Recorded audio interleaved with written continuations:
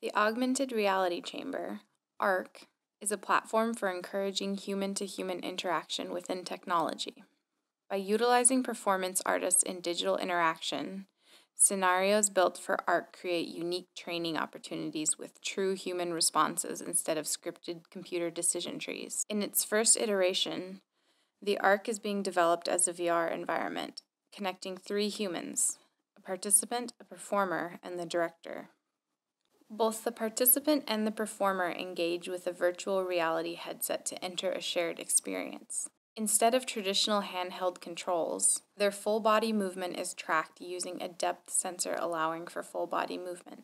The participant and performer are represented by avatars, allowing them to create opportunities to experience the simulation with new identities, such as a change in gender or ethnicity. The director view is a third person role observing the interactions of the participant and performer. This role creates the objectives for the performer through a script, informing the performer of when an objective is met. The director can also send a message to the performer in order to give live feedback or request certain interactions, such as telling them to act angry or say certain phrases. The next step for the ARC is to bring the addition of mixed reality, bringing the virtual environment into the real world.